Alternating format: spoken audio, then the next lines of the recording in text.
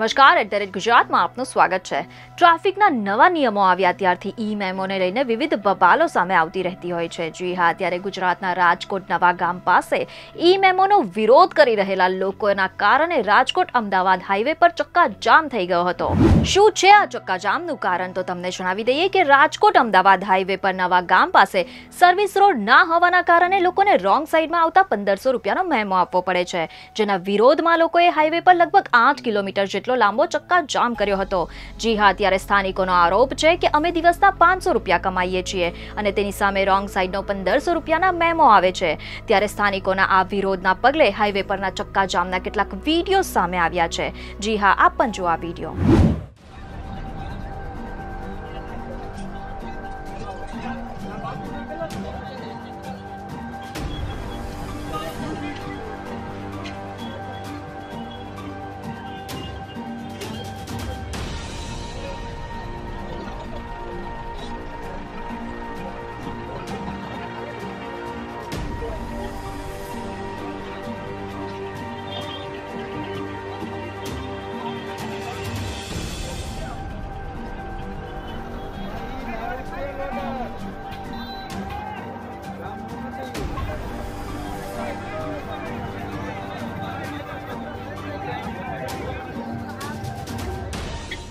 તમે અમારો આ વિડીયો જો યુટ્યુબ પર જોઈ રહ્યા હોવ તો તરત જ અમારા યુટ્યુબ ચેનલને સબસ્ક્રાઇબ કરો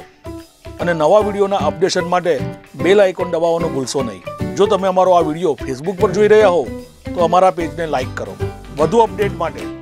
દિલોકસત્તા ડોટ કોમની વિઝિટ કરવાનું ભૂલશો નહીં